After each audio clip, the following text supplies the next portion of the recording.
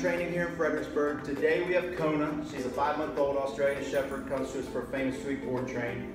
Uh, Kona really doesn't have a whole lot going on with her, you know, other than being five months old. She's she's really curious and you know a bit shy with strangers. But um, her biggest problem, like I said, she really lacks obedience. But let's see what she knows here on day one. Kona, come.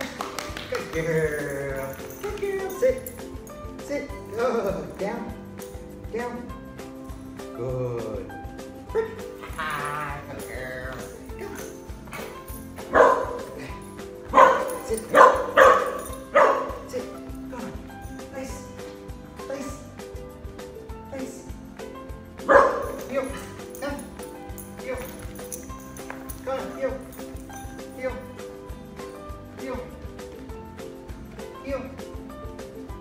Come.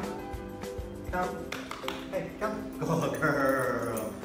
Well, there you have it. She knows sit and down. Um, but again, she gets really distracted and has zero stability. But uh, check back in a couple weeks and see her progress.